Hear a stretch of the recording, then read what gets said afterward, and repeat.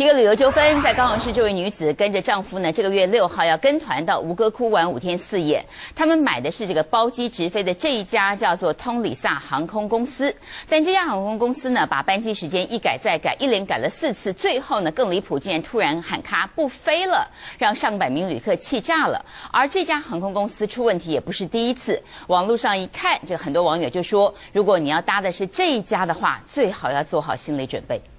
机场大厅闹哄哄，旅客们拖着大包小包的行李，怀着度假的心情来，没想到航空公司一句班机取消了，一行人只能沮丧回家等消息。等不住啊！对，准备了这么久，而且从早上就已经准备，本来是早上就要出发的啊，那现在搞到晚上，说还走不了。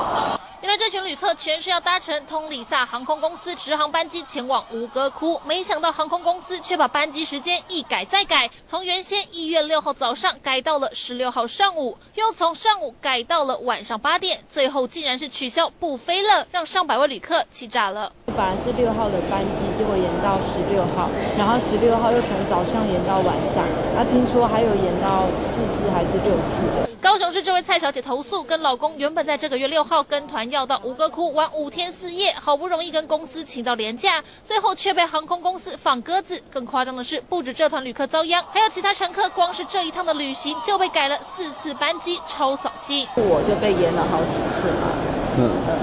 而且